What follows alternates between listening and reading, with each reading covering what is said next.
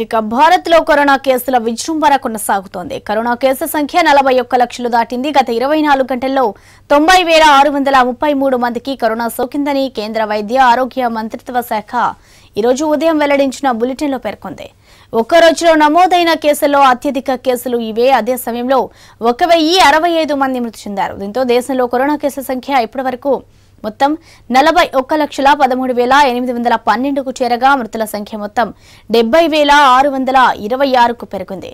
ఇక దేశంలో కరోనా నుంచి ఇప్పటి వరకు ముప్పై ఒక్క లక్షల ఎనభై వేల ఎనిమిది వందల అరవై ఆరు మంది కోలుకున్నారు. ఎనిమిది లక్షల అరవై రెండు వేల మూడు వందల ఇరవై మందికి ప్రస్తుతం ఆసుపత్రిలో చికిత్స అందుతోంది.